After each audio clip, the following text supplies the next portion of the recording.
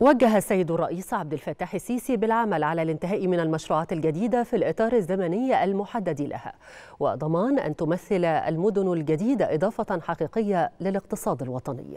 جاء ذلك خلال اجتماع سيادة الرئيس مع رئيس مجلس الوزراء الدكتور مصطفى مدبولي وعدد من الوزراء والمسؤولين.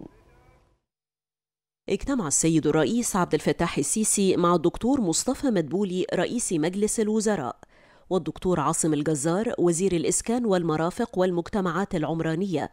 واللواء أمير سيد أحمد مستشار رئيس الجمهورية للتخطيط العمراني.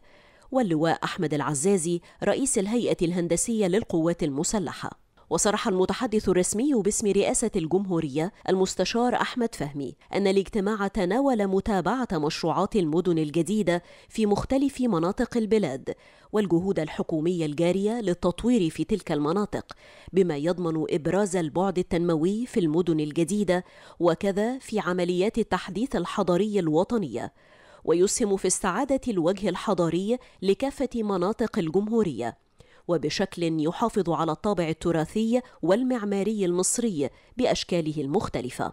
وقد وجه السيد الرئيس في هذا الصدد بالعمل على الانتهاء من المشروعات الجديدة في الإطار الزمني المحدد لها وضمان أن تمثل المدن الجديدة إضافة حقيقية للاقتصاد الوطني من خلال تضمينها للمشاريع التنموية الملائمة بما يحافظ على استدامة تلك المدن وقدرتها على الجذب وتوليد الأنشطة الإنتاجية والتجارية.